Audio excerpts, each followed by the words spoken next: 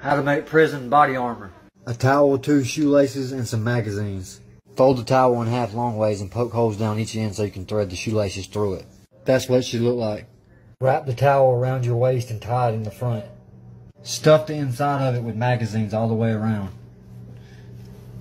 All it's made to do is just cover up all your organs right here, basically. Just keep something from puncturing it.